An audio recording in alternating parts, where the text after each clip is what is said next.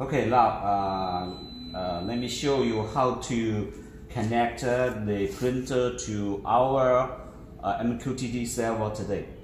Uh, first, uh, we need to set up the Wi-Fi. We connect the USB cable with PC. Use the tools to set it. First, we need to power on the printer. Okay, now I will uh, open the printing setting tools to setting the Wi-Fi. Uh, choose the USB and enter the setting. Uh, connect the Wi-Fi and type the name SSID is and also setting the keywords. After type the password, connect the setting.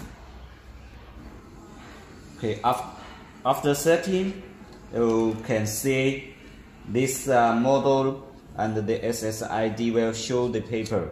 The printer will power off. You can you can try to uh, printing the self-test page. After printing this, it will be get the IP address automatically. Okay, let me try to print the self-test page. Uh, plus the feed, keep plus the feed and the power on. Okay, the printer printing the self-test page. There show all information about the printer.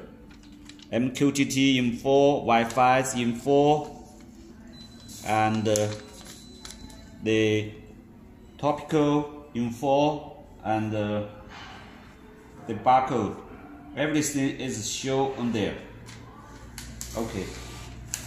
After you waiting, after the wi the printer printed the DHC, uh, DHCP IP, then that means the Wi-Fi is connected successful.